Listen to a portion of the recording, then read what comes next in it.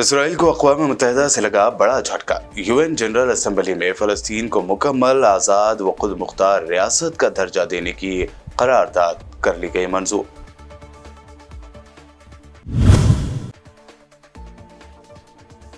गजा में एक धमाके से चार इसराइली फौजियों की बदतरीन मौत। गजा में शहद की मक्खियों ने भी सिहुनी फौज पर हमला करके बारह इसराइली फौजियों को कर दिया शदीद जख्मी।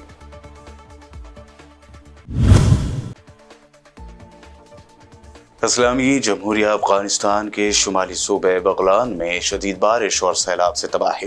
अब तक पचास अफराद के मारे जाने की, जबकि सौ से जायद के जख्मी होने की खबर। जेल से बाहर आकर अरविंद केजरीवाल ने हनुमान मंदिर में की पूजा। दिल्ली में मेगा रोड शो करते हुए कहा, बीजेपी ने आम आदमी पार्टी को खत्म करने की पूरी कोशिश की, लेकिन वो ऐसा नहीं कर पाए।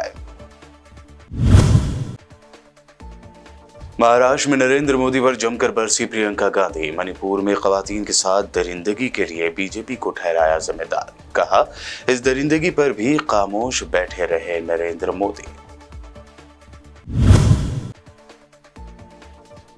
और आंध्र प्रदेश के कड़पा में राहुल गांधी का जल से आम भाजपा पर लगाया हिंदुस्तान के आइन को बदलने का इल्ज़ाम। किसी भी प्लेटफॉर्म पर मोदी के साथ डिबेट का चैलेंज किया तस्लीम।